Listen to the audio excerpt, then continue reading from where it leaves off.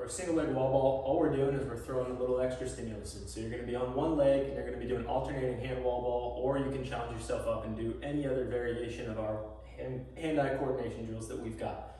So two to one wall ball, alternating hand bouncing, whatever you want. But point is, you're doing this on one leg, focusing on that balance, while also having the stimulus of added coordination. So I'm just gonna give the example of alternating hand while maintaining balance my garage. Now alternate feet after 20, 30 seconds, which that was not 20, 30 seconds, but I'm not gonna make you watch this long video. It's as simple as that. Try it on single leg, alternate legs midway through, whatever throwing drill you're doing.